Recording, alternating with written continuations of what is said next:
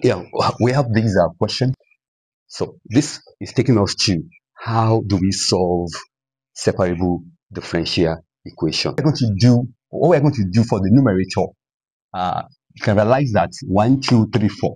So we can pair it, this one together, and factorize it, this one together, and factorize it.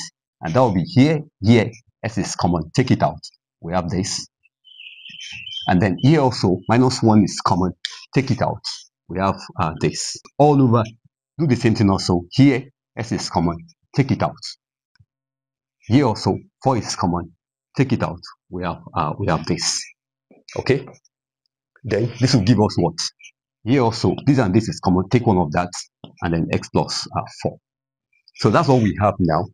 Okay? You can now see now we're having the function uh, x in one side, function y in another side. It's for us to remove the y function from here and leave the x function uh, on this side. And at the same time, remove this one from here too. So we're going to have, by the time, don't forget that this one is a fraction. Okay, by the time it leave this place and go to other side, because what we are doing is that we are dividing both sides by this fraction. So it's going to what? It's going to be x minus 2 over what? y plus 3 uh, dy, and then x minus 1 over what? x plus uh, 4 uh, dx. Then introduce your integration, integrate both sides.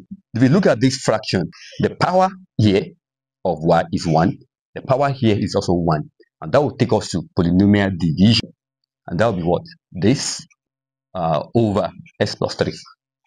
So what we're going to do is that this one, y, then divide by what? By the first one here over y. So that's 1.